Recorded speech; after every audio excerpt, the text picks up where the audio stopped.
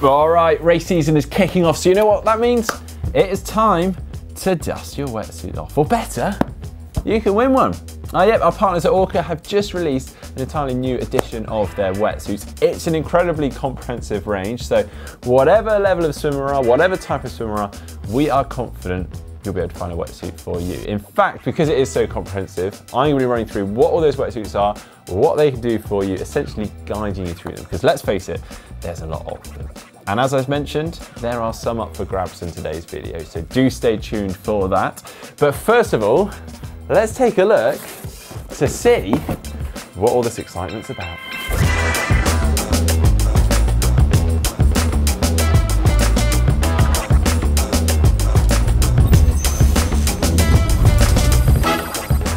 Well, I've got to say, it does look pretty cool, doesn't it? And actually quite different to some of the previous models. But before I dive into these new wetsuits, let's take a little look at the history of Orca because They've actually been in the wetsuit game for over 25 years, since 1994 in fact, and obviously specifically focusing on swimming wetsuits. And they have been pushing the boundaries in that market ever since. I mean, they were the first to bring in what was called airlight technology, which was essentially trapping air pockets within the neoprene, therefore helping to increase the buoyancy of an athlete. They also brought in what's called air release technology within their 3.8 model, which was a world's first basically breathable neoprene, meaning that heat and moisture could be wicked away from an athlete and transferred through the neoprene away from that athlete, which is pretty cool, all whilst being water resistant. Fast forward to today though, they've obviously just brought out a huge range of wetsuits, six to be exact. So I'm gonna do my best to try to break this range down for you so that you can figure out which suit would suit you, sorry. But anyway, Let's get into this. So let's try and simplify it a little bit for you and break it down. So we've basically got within this collection two ranges. So we've got the Athlex range and the Apex range. So the Athlex range, in Orca's words, uses their advanced technologies to help with a swimmer's overall technique, which, as we often say here on GTN, is incredibly important in swimming, if not the most important thing you should be working on, technique. Whereas the Apex range is the most technically advanced of the two ranges, with more or less its sole purpose being performance. Now within those two ranges, we have a further three wetsuits in each of those, making a total of six wetsuits. And that is catering for all different abilities and styles of swimming, whether you're a complete beginner, newbie to swimming, or maybe technically inefficient, through to the most experienced and technically advanced. And obviously picking the right wetsuit for you that suits your style of swimming will make a significant difference obviously to your swim experience, performance and enjoyment. So let's get to this then, starting off with the float. Yep, no points for guessing what this one does it helps you to float. Yes, it's the most buoyant of the three in the range, and I guess you could say this is targeted at the less experienced swimmers out there, those that perhaps need the most technical help or the most help, particularly in their body position in the water. So this will increase your buoyancy in the water, but not only that, also actually will help with your stability in the water, which is quite interesting. Right, moving on now, on to the flow. So this one sits in the middle of the range, so it's obviously designed for someone with a little bit more swim experience, but someone that's still going to benefit from some added buoyancy, particularly in the legs, all whilst obviously ensuring a good amount of flexibility through the shoulders, through the arms for all that movement. Right, moving on to the final one in the range, and that is the Flex. Again, as the name suggests with this one, this boasts the most flexibility of the three in the range, and it's obviously targeted at the more accomplished swimmers out there, the ones with the most experience or most technically advanced swimmers, and is there basically to help them maintain their technique without really having any negative effect on their technique or body position through the water. So, as I mentioned before, those three wetsuits sit under both the Athlex and the Apex ranges. That means we have a total of six wetsuits which is very confusing. I mean, which one do you go for? Well, I'm going to try and help you here a little bit by just using myself as a bit of an example. I know, just one case study, but here we go.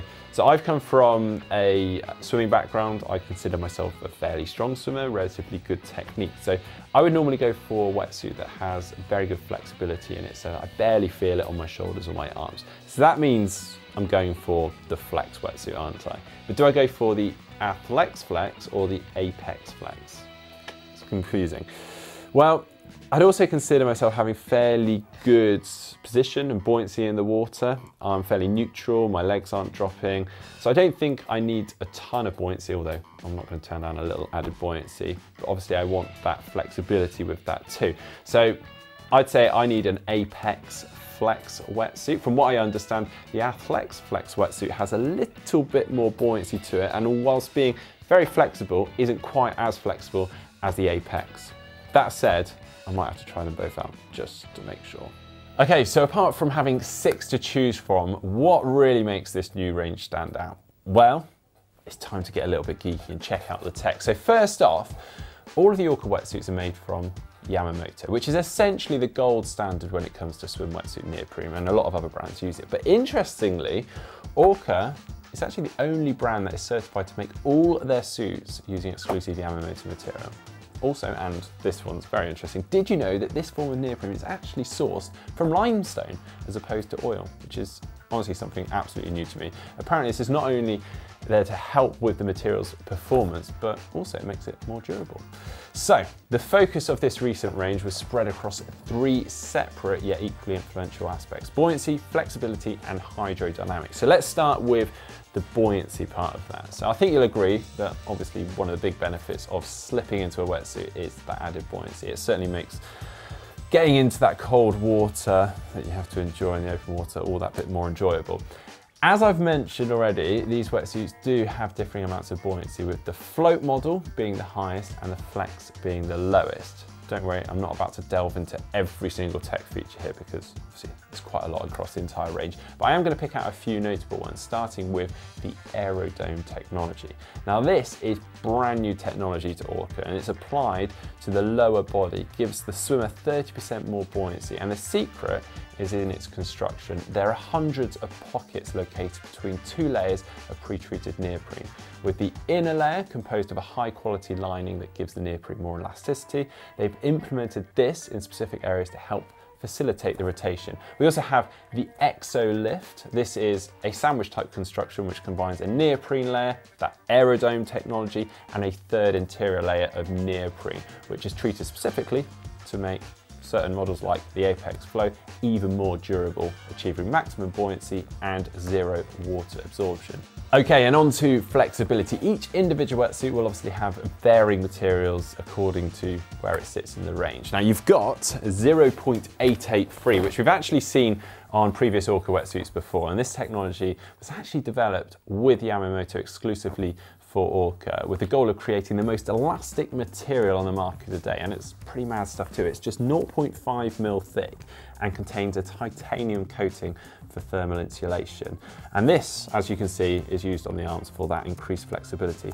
But to make such an extensive lineup and cater for different swimmers, we've also also got a ton of other materials too, all with varying properties. So we have actually what's called 38 plus, 39 plus, 40 plus, 44 plus, 39 FS, 40 FS, 40 PF plus. I mean, it's all pretty impressive, all bringing different levels of flexibility, support and buoyancy to different areas of the body. Some even claiming to require 72% less force to stretch than other conventional neoprene. But of course, lastly, an area that shouldn't be overlooked, hydrodynamics, another benefit of wearing a full-length wetsuit.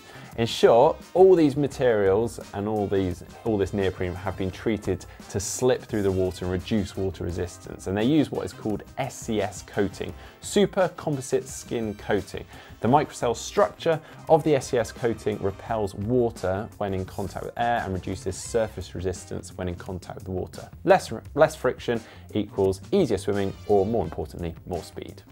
And then they have a further advancement to that, which they use in some of their suits called Nano Ice, SCS. But anyway, to the bit that many of you have probably been waiting anxiously for, and that is how you can get your hands on one of two of these wetsuits that are up for grabs. Now, to do that, you just need to head to the description below this video, click on the giveaway links there, or take you through to a page where you need to answer a question regarding these wetsuits. So I hope you've been listening.